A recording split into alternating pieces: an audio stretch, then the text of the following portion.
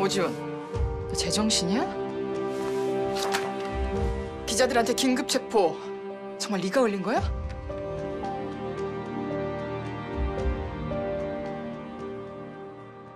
어, 내가 했어. 왜 그런 짓 했는데? 동식이라고 밝혀지길 바랬어?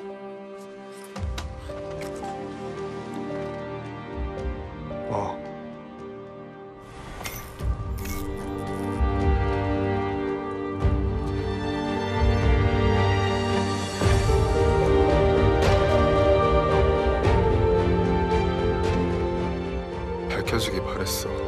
왜? 왜 그러길 바랬는데?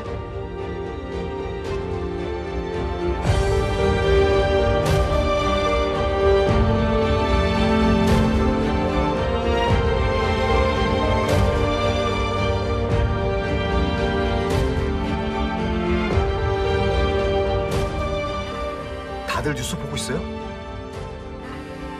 오, 왜 한경희 씨 뭔 짓을 한겨? 그러니까 지금 한 건이 아니라는 말입니까? 여자애생 말고 또 있단 말입니까? 네, 피해자는 여대생 한 사람이 아닙니다. 9개월 전 외사과에서 동일 방식으로 살해된 것이 확인된 피해자는 3명. 최근 이곳 문주시에서 동일 방식 피해자 한 명이 발견되었으며 그 외에 살해, 실종된 여성이 두 명 더 있습니다. 사체의 일부 등으로 확실하게 확인된 피해자만 여대생 포함 현재 7명, 모두 여성이며 확실하게 확인된 피해자라뇨? 그럼 피해자가 더 있다는 말입니까?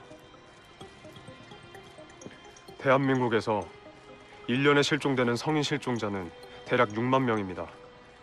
그 중에서 지금까지도 소재를 파악하지 못한 실종자는 매년 천여 명. 지난 5년간 누적된 미발견자만 해도 5천 명이 넘습니다. 이 중에서 사체가 발견되지 않은 피해자가 존재할 가능성을 배제할 수 없으므로 그게 무슨 말입니까? 사체가 발견 안 된 피해자라뇨? 실종자 이야기가 왜 나오는 겁니까? 동일 방식 사건이 처음 발생한 시기는 2000년.